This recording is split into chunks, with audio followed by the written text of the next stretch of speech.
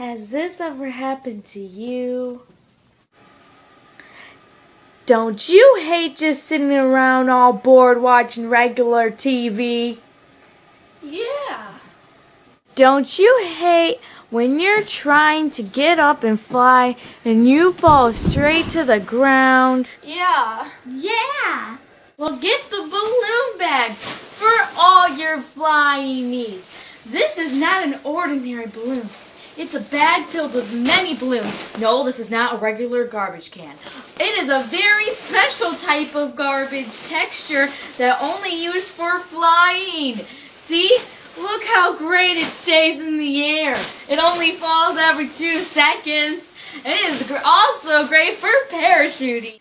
Here's a prototype for you to try out. Go ahead. See if it works.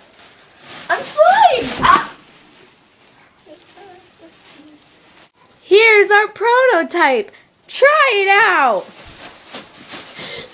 I'm flying! Oh. If this did not work, it's because ah. it's only a prototype. Thank you.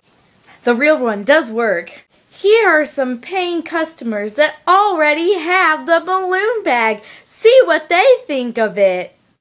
Okay, so the thing, it broke my leg. I tried to jump off a building the other week, and I fell off, and I broke my leg. So, yeah, I have bruises all over myself from it. I hate that stupid thing so bad. I hate that thing. It's just a trash can filled with blown up balloons, not even with helium in them. It's just for decoration. See how much they love it? So get the balloon bag for all your flying needs.